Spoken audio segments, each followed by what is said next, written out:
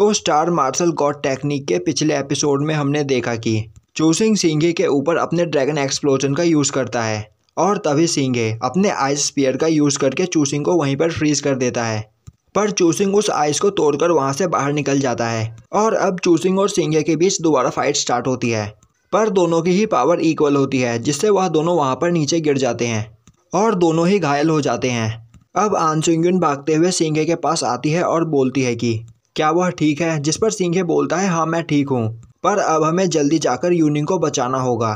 तभी चूसिंग हंसता हुआ बोलता है, तुम लोग यूनिंग को बचाना चाहते हो, पर अब काफ़ी देर हो चुकी है। सिंघे बोलता है, मैं यह नहीं मानता, क्योंकि मुझे पता है कि तुम लोग बस यूनिंग को कैप्चर करना चाहते हो, उसे मारना नहीं चाहते।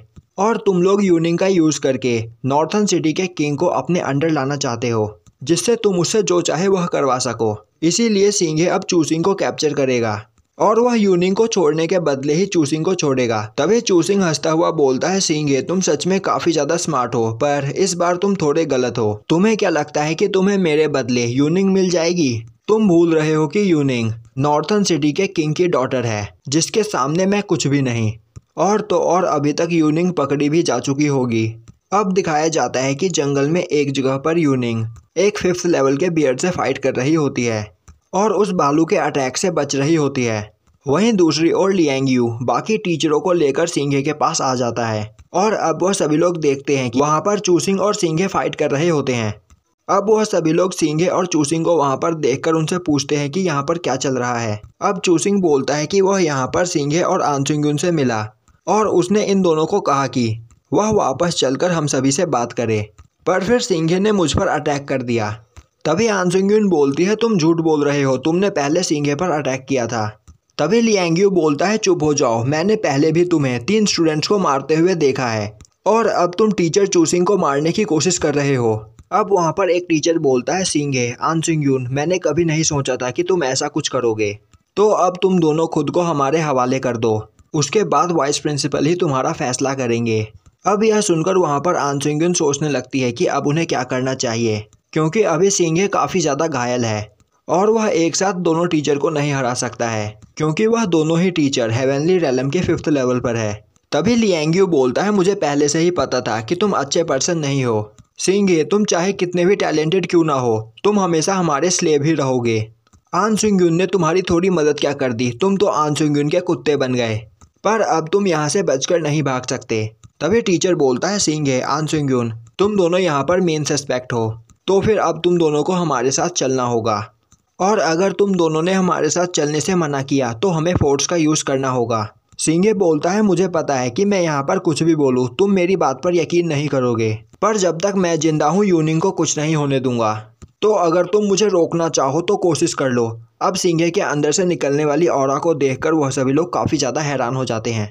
अब वह टीचर बोलता है तो सिंघे तुम हमारी बात नहीं मानोगे। सिंघे बोलता है, मेरे पास और कोई रास्ता नहीं है। और तभी वह टीचर सिंघे पर अटैक कर देता है। पर सिंघे बड़े ही आराम से उन दोनों ही टीचर को हरा देता है। अब यह देखकर वहाँ पर लियांग्यू काफ़ी ज़्यादा डर जाता है और सिंघे लियांग्यू की ओर आगे बढ़ने लगता है। तभी सिंघे देखता है कि चूसिंग वहाँ से भाग चुका होता है और तभी वहाँ से लियांग्यू भागने की कोशिश करता है। सिंघे बोलता है, तुम यहाँ से ऐसे नहीं जा सकते। अब लियांग्यू बोलता है सिंघे तुम मुझे ऐसे नहीं मार सकते। अगर तुमने मुझे यहाँ पर मार दिया तो मेरी आंगयूंग फैमिली तुम्हें नहीं छोड़ेगी। और अगर तुमने मुझे यहाँ पर मारा तो मेरी फैमिली तुम्हारी पूरी फैमिली को मार देगी। अब सिंघे लियांग्यू के पास आता है। वहीं सिंघे को देखकर लियांग्यू की हालत ख़राब हो चुकी होती है। और तभी सिंघे लियांग्यू को दो थप्पड़ मारता है और बोलता है, पहला थप्पड़ आनसुंग की बेइज्जती करने के लिए और दूसरा थप्पड़ मुझे और मेरी फैमिली को इस तरीके से ट्रीट करने के लिए। और आज के बाद अगर तुम्हारी फैमिली ने मेरी फैमिली के साथ कुछ भी बुरा किया तो मैं तुम्हारी पूरी फैमिली को मार दूँगा।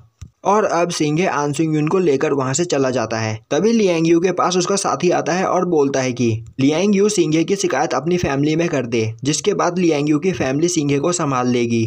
तभी लियांग यू गुस्सा होते हुए बोलता है, तुम बहुत बड़े बेवकूफ़ हो। क्या तुम्हें यह नहीं पता कि सिंघे वाइस प्रिंसिपल का स्टूडेंट है? अगर हमने सिंघे को मरवा दिया तो वाइस प्रिंसिपल हमें नहीं छोड़ेगा। अब वहाँ पर वह दोनों टीचर उठते हैं, जिसमें से एक टीचर बोलता है, लिंग यी, अब हमें क्या करना चाहिए? क्या हम वाइस प्रिंसिपल को बोलकर उन दोनों को अरेस्ट करवा दे? लीन यी बोलता है, नहीं, इसकी कोई ज़रूरत नहीं। अगर उन दोनों ने उन स्टूडेंट्स को मारा होता तो अभी यहाँ पर हम में से कोई भी ज़िंदा नहीं बचता। और जिस वक्त हम सींगे से फाइट कर रहे थे, उसी वक्त चूसिंग वहाँ से भाग गया। दूसरा टीचर बोलता है तो फिर तुम कहना चाहते हो कि यह सब चूसिंग ने किया है? आखिर वह क्या करना चाहता है? तभी लिंग ये बोलता है, वह यूनिंग के पीछे है। यह सुनकर वह टीचर काफ़ी ज़्यादा डर जाता है और बोलता है, अगर नॉर्थन सिटी के किंग को इस बारे में पता चला तो वह हमें मार देंगे। तो अब हमें क्या करना चाहिए? लिंग ये बोलता है, अगर हमें अपनी जान बचानी है तो हमें जल्द से जल्द यूनिंग को ढूंढना होगा। और अब वह सभी लोग यूनिंग को ढूँढने के लिए चले जाते हैं। वहीं दूसरी ओर यूनिंग उस भालू से फाइट कर रही होती है। पर वह भालू काफ़ी ज़्यादा स्ट्रांग होता है और यूनिंग को घायल कर देता है। अब वह भालू यूनिंग पर अटैक करने जा ही रहा होता है कि तभी पीछे से एक अटैक आकर भालू को लगता है और अब सिंगे यूनिंग को उसका वेपन दे देता है और अपना वेपन मिलते ही यूनिंग उस भालू पर अटैक करके उसे मार देती है।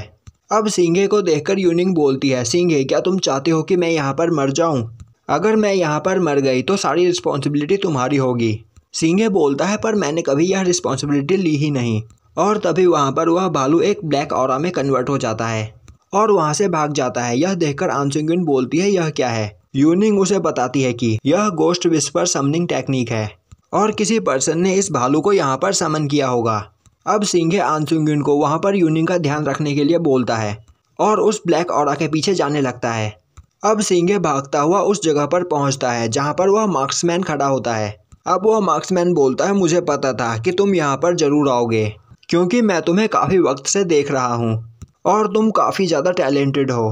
तो सिंघे, क्या तुम सच में हमसे फाइट करना चाहते हो? सिंघे बोलता है, मुझे बताओ कि तुम कौन हो? अब वह मार्क्समैन बोलता है, तुम हमारे साथ ज्वाइन हो जाओ, फिर तुम्हें सब कुछ पता चल जाएगा।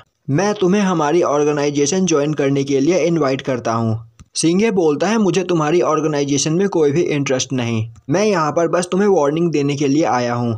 अगर आज के बाद तुमने मेरे सामने लोगों को हर्ट किया तो मैं तुम्हें नहीं छोड़ूँगा। मार्क्समैन बोलता है सिंघे क्या तुम अपनी आंट की मौत का बदला लेना नहीं चाहते हो? आज से सौ साल पहले हमने यह ऑर्गेनाइजेशन बनाई थी। हमने हर जगह घूमकर टैलेंटेड लोगों को एक साथ इकट्ठा किया।